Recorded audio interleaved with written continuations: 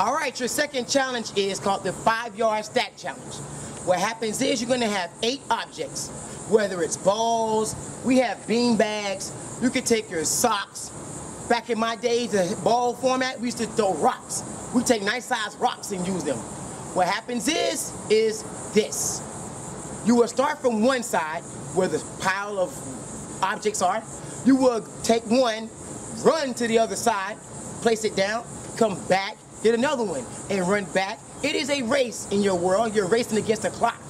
In the next challenge, you need to time yourself, whether it's a stopwatch or your phone, whatever you can do to time yourself. You're going to put your time in your in the comments along with your name, and each day you're going to try to beat your time. You could do it with another partner if you have another partner and make it a race.